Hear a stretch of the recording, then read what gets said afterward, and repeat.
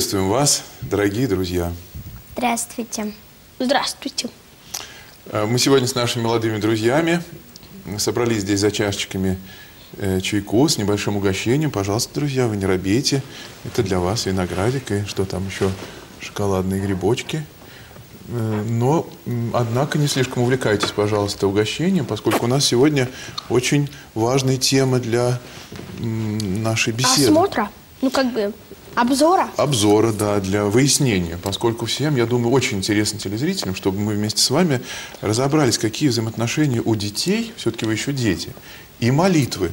Дело в том, что я педагог уже, можно сказать, со стажем, и иногда, когда не получается организовать детей на молитву, я говорил как Моцарт у э, Пушкина в, их маленьких, в его маленьких трагедиях.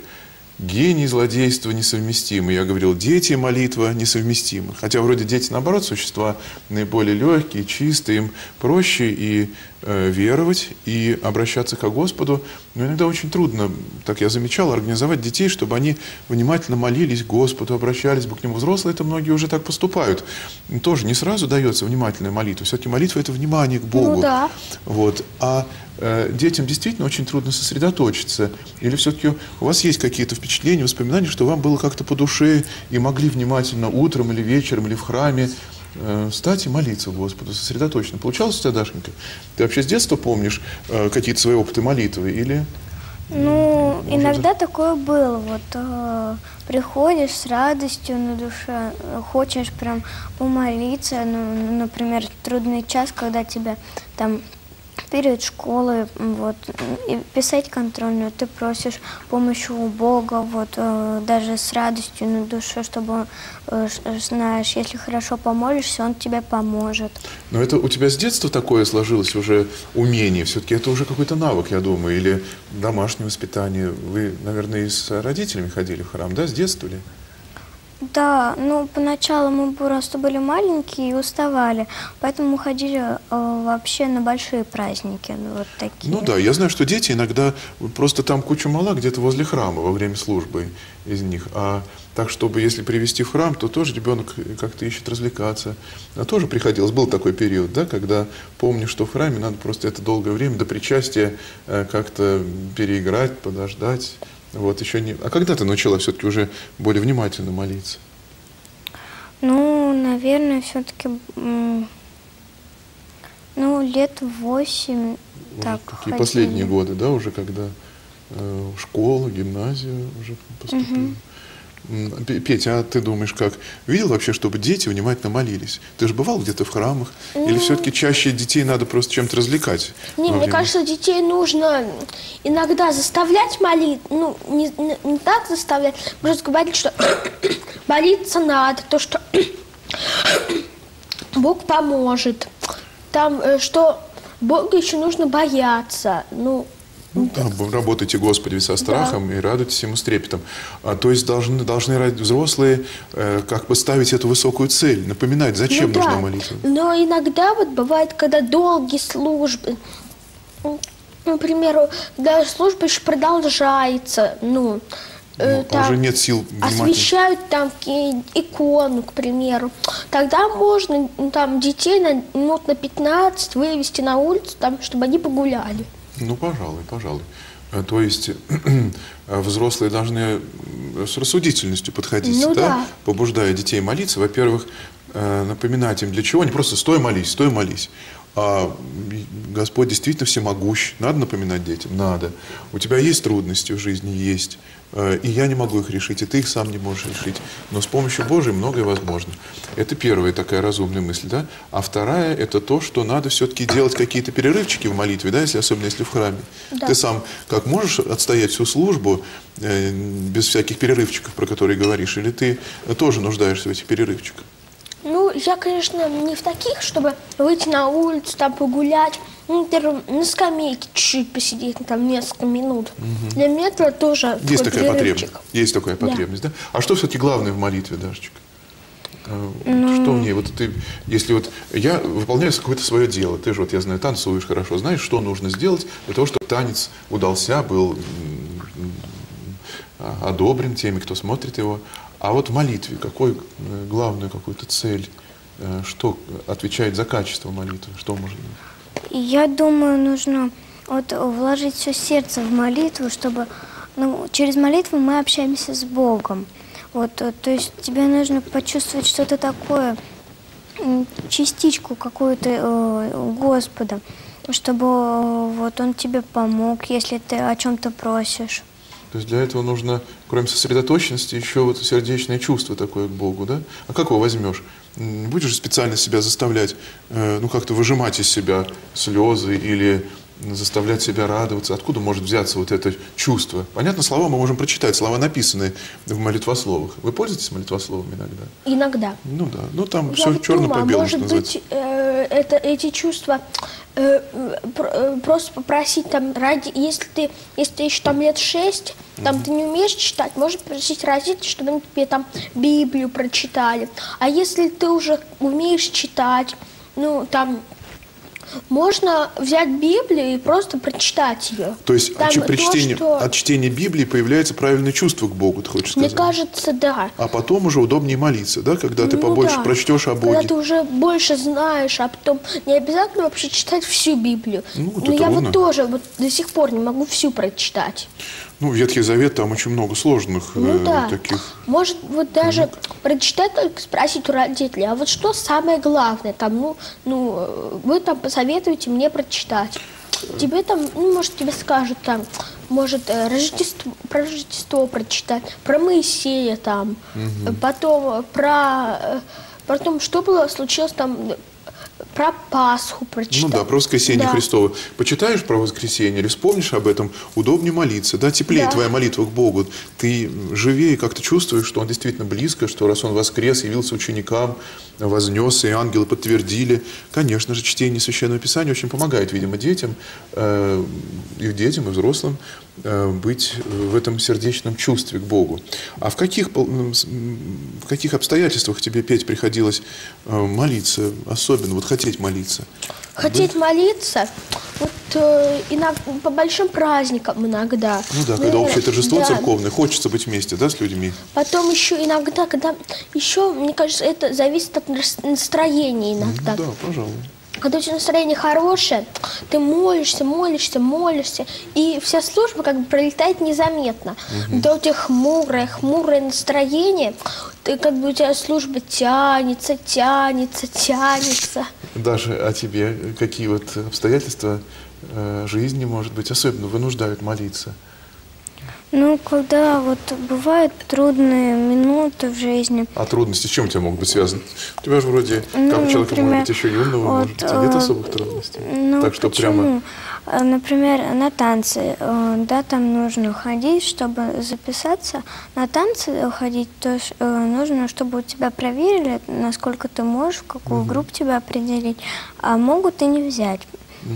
Вот. Ты не По- так давно, я знаю, записывалась на танцы, и ты прежде чем идти, чувствовала потребность помолиться, да, обратиться к Господу? Да. Даже не в храме молилась, а вот дома есть иконки, подойдешь, мол- возьмешь молитвослов, помолишься, попросишь помощи. Мгм. Ну, это очень важно. Но это уже, я думаю, добрый навык. Много, я думаю, многие из наших телезрителей, слушая вас, удивляются, думают, ну, слава Богу, когда такие дети, когда они уже э, приучены м, к молитве и знают, что помощь не только от людей, но прежде всего от Бога. Эм, Конечно. Э, А вот как другие дети, интересно, ведь вы, наверное, встречали разные отношения к молитве. Да, стороны- разные. Некоторые вот иногда человек он к молитве относится, ну как бы, можно сказать, с душой. Но он, он вот э, он понимает то, что молитва, она, да, каждая молитва до Бога доходит. И Бог, ну, как бы знает о, о том, что ты молишься, о Да. том, что тебе очень нужно, или Несомненно. а некоторые люди, они этого не понимают. Даже вот тот человек, который вот все хорошо ходит в храм, там хорошо много читал Библию, все обучен уже это, этим. Он может, он в какой-то момент может это все, он может все забыть, когда у него какое-то плохое настроение. Или обстоятельства тяжелые. Да, он может все забыть подумать, сейчас у меня тяжелые обстоятельства, Бог мне не помогает. И вот, значит, Бог уже мне никогда не поможет. Но, Но это уныние, такое ну, да, состояние уныние печали. такое. И в этом состоянии, оно очень многим взрослым э, свойственно, и очень часто бывает состояние уныния, печали. И тогда, как ни странно, вроде бы надо, как царь Давид, из глубины возвах к тебе, Господи, Господи, услыши глаз мой, из глубины печали, из глубины скорбей, как раз самая настоящая молитва. Но действительно, очень многие взрослые, э, мне кажется, да и дети тоже, э, в печали как раз опускают руки и не хотят поднять глаза к небу, не хотят обратиться к Господу, который есть источник радости в том числе. Да. Скажите, пожалуйста, а все-таки какое-то правило молитвенное у человека должно быть или достаточно вот так, как вы сказали, по настроению, по вдохновению? Вот. Или все-таки ребенку тоже должно быть правило, такое постоянная молитва, которую он всегда должен читать, стараться?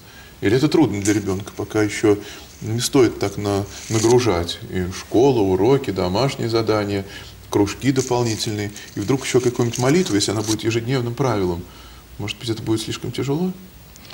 Нет, вот, например, э, особенно вот нужно читать вот перед сном молитву А и утром. И Ну, м, Вот то, у тебя есть какая-то потребность? Или это нужно себя заставлять? Если тебя не будут заставлять, вряд ли ты станешь вечером и утром на молитву. Ну, утром не всегда получается, но молимся еще в храме. Вот, ну да, когда у нас в гимназии утренние молитвы все-таки читаются. Это удобно Да. петь?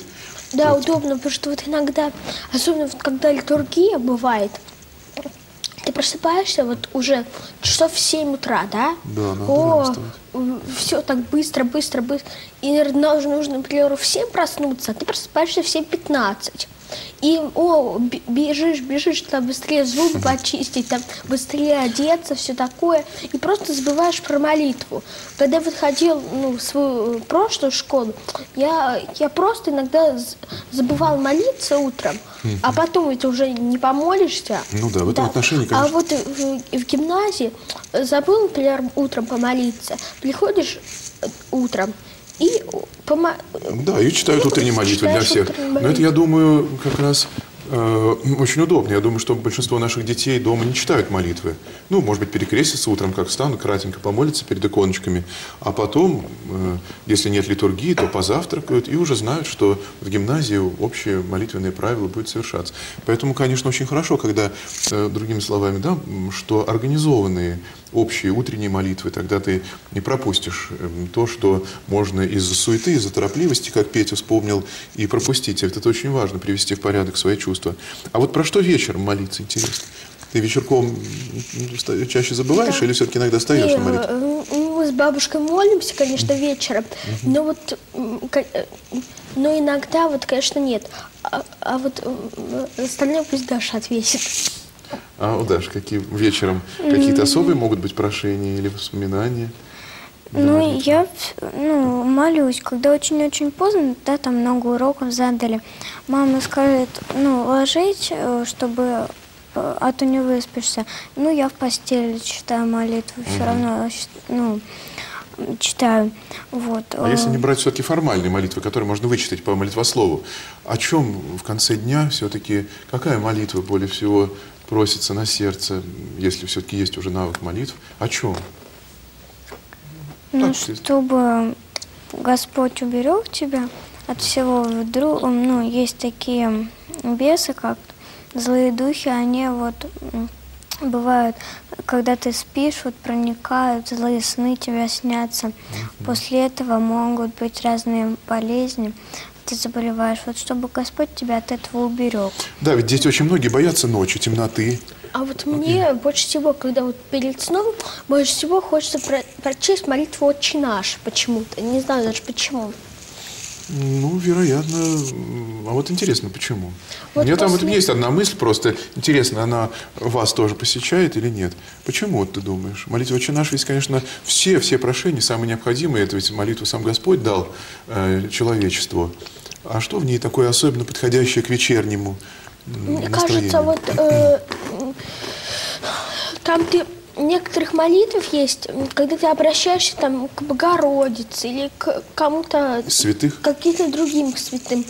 А вот в этой молитве как-то она более ближе к Богу мне. Ну. Оно, она, и, и тебе происходит чувство, то, что ты, когда ее читаешь, она ближе всех к Богу. И ее как бы, ну, Бог э, сильно, ну, как бы... Особенно слышит, да? Особенно слышит. особенно внимает. Ну, это правильно, но все-таки нам нужно разобраться поточнее. А какие же чувства к вечеру? Вот правильно Дарья рассказала про одно из чувств. Конечно, ночь для многих детей – время больших страхов. И страхи во сне, особенно если дети любят смотреть различные страшные передачи, фильмы, совсем не предназначенные для них, а иногда и предназначенные для них, но сделанные, конечно, совсем недобрыми людьми, всякими ужасами, кошмарами. Есть такие мультфильмы, да, по-моему, тоже после них э, дурно Ужастики спится. Некоторые Да, смотрят. ужастики смотрят. Дети даже любят это. Ужас от того, что страшно, то, что м, вызывает какое-то отвер- отвращение. Им как раз бывает это и любопытно. И тогда, да даже если нет таких м, печальных опытов в течение дня, но все равно, когда темнеет, когда ты засыпаешь и не знаешь, что с тобой будет Мне в течение страшно, ночи. Мне вот так вот страшно ночью, что э, стало после того, как мне од- однажды приснился очень страшный сон. Ты потом боялся засыпать, Ну да? да. И потом, конечно, э, это было, это было прошлой осенью, где-то в октябре, в ноябре. И вот бо- я боялась, по-моему, до Рождества. После этого уже перестал. Ну, слава богу. Вот, но тоже я была, когда маленькой, э, смотрели, там сделали такое эм, кино, э, как эм, распятие Христа. Стра- было страсти так вот, Христа, ну да. я маленькая была очень, вот э, я не понимала, после этого я долго не могла, ну спокойно уснуть. Ну да, фильм боялась. такой более... Когда Евангелие читаем о том же самом, то это не будоражит так чувство, не э, так ужасает. близко, ну не ужасает так близко к сердцу. Ну да, сами страдания Господни мы принимаем, но вот это что, натурализм вот этот, да, эти куски крови, там, ку- куски мя- тела человеческого, кровь плещущая, она не, не описывается так в Евангелии.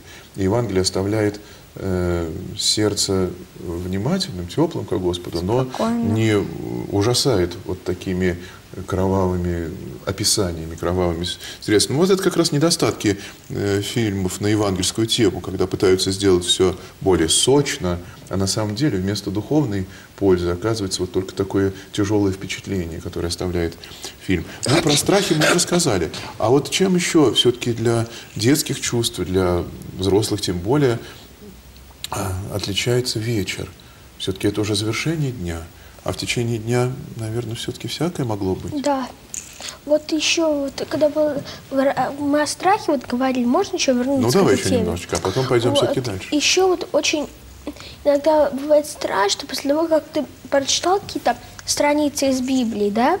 После того, как э, вот когда я- у нас вот еще в седьмой школе, да, был такой урок под названием э, «Основы православной культуры». Мгм, И Прекрасно. там нам начали рассказывать про, м, про какого-то святого, я уже не помню.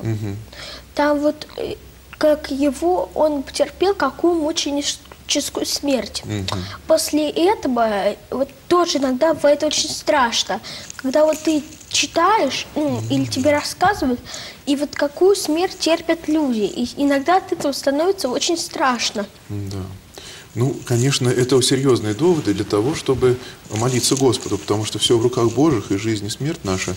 И поэтому действительно, с одной стороны, э, вот такие описания мученичества вызывают такой человеческий ужас, потому что иногда все эти жесточайшие тираны, которые терзали христиан, не жалели никакой изобретательности для того, чтобы сделать больнее и страшнее испытания. Но все-таки, с другой стороны, в чем сила жития святых по сравнению с фильмами ужасов? В том, что э, эти ужасы, которые были подготовлены для христиан, не смогли их победить. То есть все равно Бог остался победителем. И человек, даже претерпев такие страшные мучения и перед лицом самой смерти, остался верен Господу. И поэтому э, такие страхи, которые остаются у нас после чтения житий святых, на самом деле не только э, и вовсе не отчаяние приносят нам, а наоборот побуждают нас активней и сердечнее молиться Господу, э, который действительно делает нас победителями во всем. Ну, а все-таки, если мы с вами подумаем, какая молитва для вечера особенно уместна, вспомнив о том, сколько разных дел, и не всегда, быть может, безупречных, было у нас в течение дня. Бывает ведь такое? вечером надо же подвести итог. Бывает, что, Петь, ты, когда у тебя спокойные минуты, тихо, не с кем тебе пообщаться, поиграть, вроде дела уже ко сну, немножко помолясь, а вспоминаешь ты э, прошлый день прошедший и его, и, может быть, не всегда безупречное свое поведение, какие-то свои ошибки. Случается Вот, такое? ну да, в основном я перед сном стараюсь вспомнить что-нибудь веселое. Ну, это ты молодец, конечно. А если в, в голову Вот как- не столько вот веселое, Вчера, вот, к примеру, я никак не мог заснуть вчера. Все потому, что вот когда вот я перед сном, ну, вспоминал прошлый де- сегодня день, да, вдруг мне вспомнился вот этот сон, который мне приснился вот давным, ну, еще в прошлом году. И вот после этого я еще целый час не мог заснуть. Ну вот видишь, может быть, тоже из-за того, что забыл внимательно помолиться. Когда Да. молитву читаешь, что эти помыслы посторонние, они как-то отступают. Когда зажигается свечечка, то тьма, она как бы прячется по углам. И так у нас в сознании, когда э, слово к Богу, когда молитва к Нему, как свечечка загорается в нас, то тогда всякие темные мысли, мрачные воспоминания, они отступают, как темнота. А, Ну, а скажи, пожалуйста, хорошо вспоминать что-то веселое, а если вспоминается э, наоборот, свои не очень хорошие поступки? Ведь бывают и такие у всех у нас, да? Да, бывают. Вот, то кого-то, может быть, огорчили, обидели, где-то не сдержались, может быть, когда э, сказали неправду. Вот. Э, какой, каким тогда молитвенным словам более всего располагают такие воспоминания? Ну, я точно не могу сказать.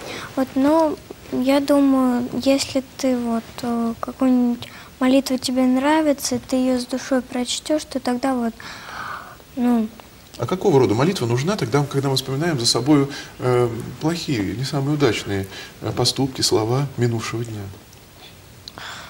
ну, я даже не знаю, но вот мне любая молитва, лишь бы только она была на душе. Вот, Но ведь есть молитвы разные. Есть молитвы, когда мы э, хотели поступить на танцы, и нас взяли.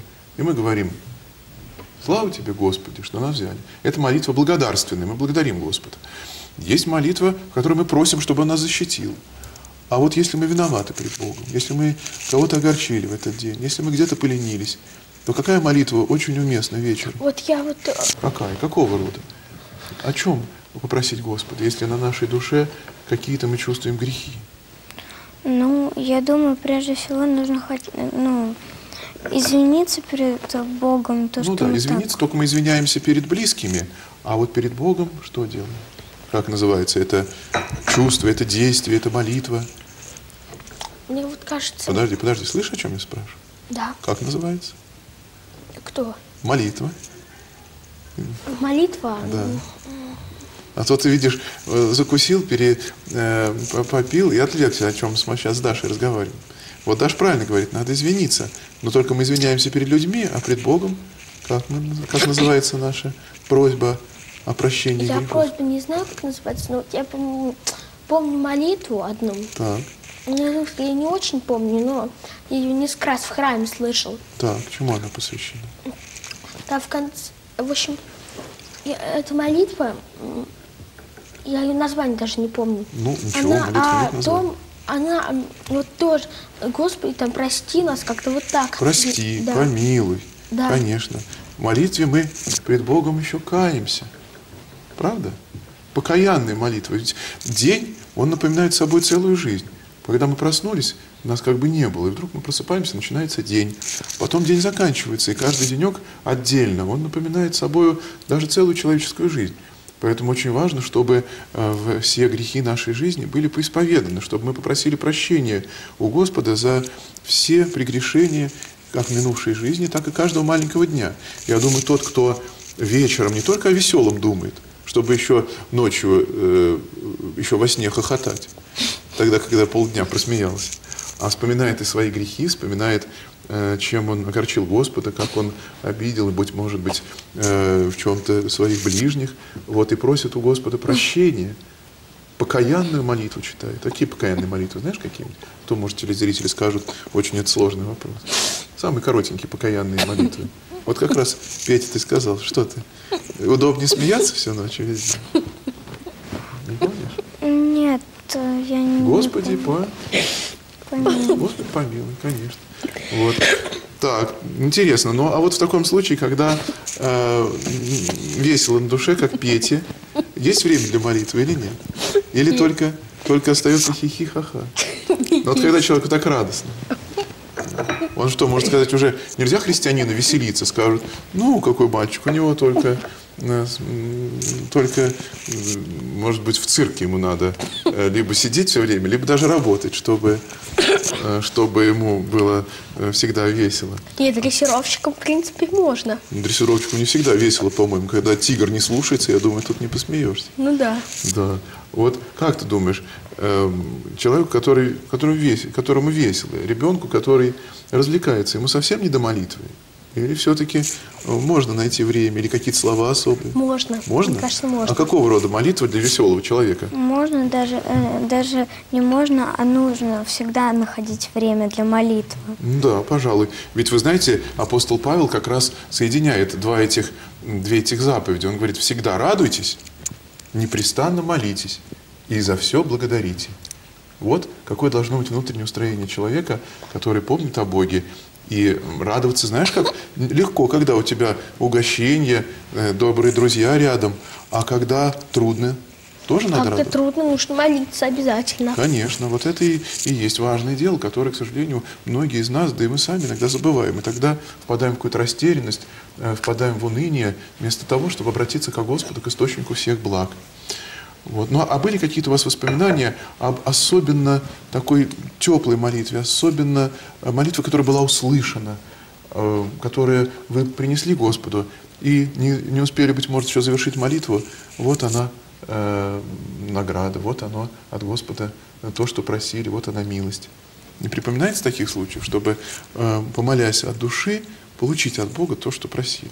Да, были такие случаи. Не расскажешь? Надо вспомнить. Ну, я... Был такой случай однажды, когда э, бабушка мне сказала, вот петь нужно сейчас одну молитву нам новую изучить. Это м, «Богородица, Дева, радуйся». Так. После того, как мы вот ее повторили несколько раз, да я ее уже запомнила, потом еще мы помолились, после этого мне тоже, вот, после, ну, Радость на душе? да, Не то, чтобы какое-то событие. А вот скажи, мы знаем с Дашей, что ты очень заядлый болельщик футбольный. Да. А когда твоя команда выигрывает или проигрывает, или должна выиграть, тебе не приходит на мысль, что надо помолиться? А то я слышу иногда комментаторов изредка там где-то там, по, по радио там, или где-то увидишь, кто-то внимательно смотрит. Комментаторы такие бывают странные. Они желают победы там команде нашей, но во время этого своего комментария чертыхаются, прости Господи, как-то э, говорят какие-то э, вещи, которые можно назвать суевериями. Вот, и совсем это не, э, в общем-то, не... Вот не, было однажды такое- Не такое- думаю, что помогает вот однажды, делу когда вот. «Зенит» играл с Янг Бойсом, Давно он это было? А? Давно это было? Это было в, зимой, Так. э, даже Ч- весной уже. Чемпионат какой-то был? Это был э, Лига Европы. Так, и что? И вот тогда «Зенит» первый матч проиграл 2-1 у них. И дома начал 1-0 проигрывать. Тогда дедушка уже расстроился, все, наши не выиграют. А я вот свою... У меня тог- тогда икона была, висела в моей комнате. Я вот встал, помолился, и потом «Зенит» три мяча наколотил. Вот это да. Ну, смотрите, это все-таки чудо. Хотя, может быть, конечно, Господь повелевает молиться более всего о высоких э, предметах. Ну, чтобы душа наша спаслась, чтобы мы исправлялись, чтобы наших родственников, близких людей Господь помиловал. Вот. Но я думаю, что такая детская молитва, может быть, Петя как раз обеспечил «Зениту» э, выход в, куда? В следующий тур? Э, да, но только в следующем туре он проиграл. Ну, видимо, ты плохо помолился в следующий раз. Ну что ж, дорогие друзья, я думаю, что м, трудно нам будет все стороны детской молитвы в такой коротенькой нашей встрече эм, обозначить или оговорить, или, как ты сказал вначале, оз- обозрить. Да.